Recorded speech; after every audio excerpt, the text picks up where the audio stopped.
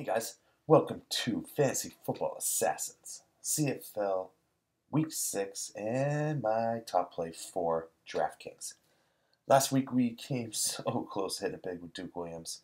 He had a couple deep end zone looks that um, we were hoping for. Defensive backs made some good plays. Timing was a little off, but those 50 50 jump balls exactly what they want to use Duke Williams for. And that's what we wanted him for. We wanted him for that low ownership, but also that low cost that he um, that he was last week. So we're going to take that same approach this week, and we're going to try to target someone that I believe is going to be lower owned, but also not crazy expensive. That we have Kamar Jordens and Zylstras all in the eight thousand range, and that player is going to be B.J. Cunningham of the Montreal Alouettes.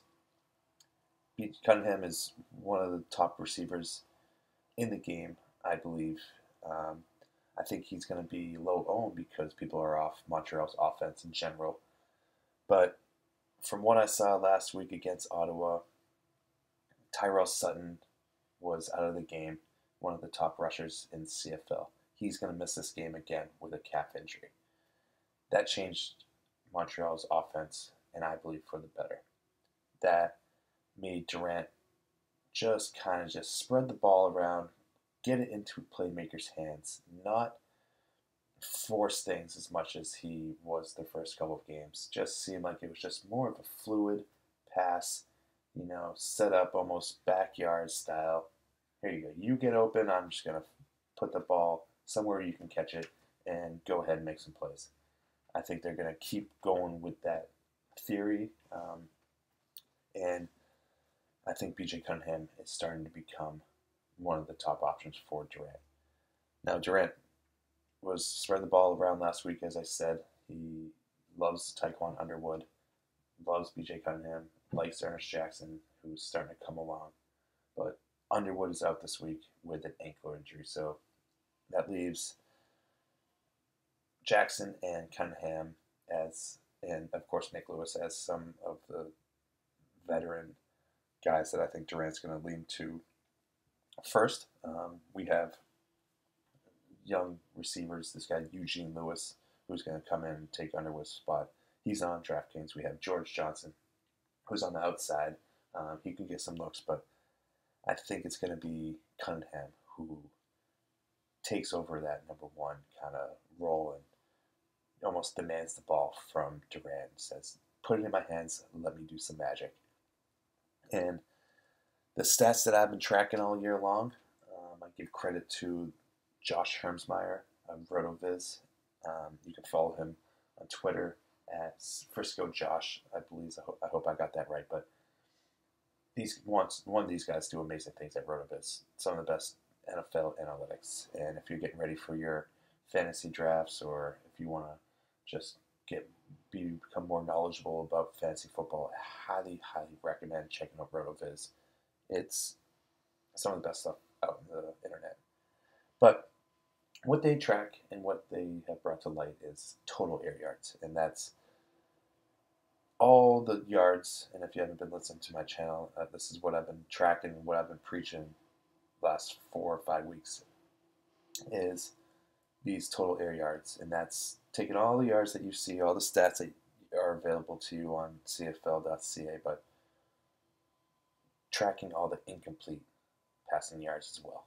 And that's what I've been doing all week. I've been going into the game by game, play by play, finding all the incomplete passes, tracking the player, line of scrimmage, where the target was, adding all those up for the players, putting into a spreadsheet, and I've been taking all of um, Josh's kind of his own personal math and his own recipes for success, putting them into all these spreadsheets and all these stats have been popping up. And of course, we have cream of crop guys, S.J. Green, Kamar Jordens, Brandon Zylstras. All those guys are on top for a reason, uh, but they're also as expensive. And DraftKings knows who the good players are, of course. So they're going to price them accordingly. So we want to take all these great stats, but we also want to look at guys that are pretty inexpensive as well, and I think Cunningham fits perfectly in that uh, kind of realm. So he's sitting there at 6,500. That allows you to go at Mitchell if you want to have some uh, Calgary quarterback um, in that in the Vegas totals for Calgary. Allows you to have Calgary's defense as well if you don't think Hamilton um, offense is, uh, or you think Hamilton's offense is looking as bad as they do. But um, I think Cunningham allows you that flexibility for that cap space. But with Underwood out, I think Cunningham comes in and is going to be the target monster. I think he's going to be the guy that kind of gets those first down looks, extends plays or extends drives. Um, his average depth of target is around 12 yards, so he's making those big plays too. Um, what I love about Cunningham is his air yards per game. It's sitting right around underneath 100. Uh, he has a target share of 18%, but also his market share of the air yards is 25%. And that's what I really, really like. I like what basically they're using him for. And so we got Montreal going against Winnipeg. and now we got to look, sit back and look at that game as well. What's that game script going to be? I believe Winnipeg's offense is legit, and I think they're going to do okay against Montreal. They're going to force Montreal to have to have to have this game plan of kind of a faster pace. Can't really control the game when they're running. If they're going to have to throw the ball just as much as Winnipeg's going to have to throw the ball as well. Winnipeg's defense is pretty good against the run, so I believe it's uh, Rutledge or Rutledge that's going to be playing running back for Montreal. And then uh, I think that's going to be tough for him to get momentum going, and so that's going to force Durant to once again step back, find the open guy, put in his hands, and let them make the plays. What Winnipeg does also really well is that they have some of the two two of the best defensive backs in the game, and Randle and Heath. Now, the thing about them is that they play on one side of the field, and teams this year have been targeting the opposite side greatly and they've had great success. And I think that's almost something teams have been almost copycat or copying from the um, teams prior. And last week, BC absolutely lit up Winnipeg's defense. And Bryan Burnham, who I think BJ Cunningham is going to play that same role, absolutely lit him up. So I think Montreal is going to go into this game and know that they're going to have to throw the ball. They're going to have to keep up with Winnipeg and keep up with that offense. They're going to have to play smart, easy football, no turnovers.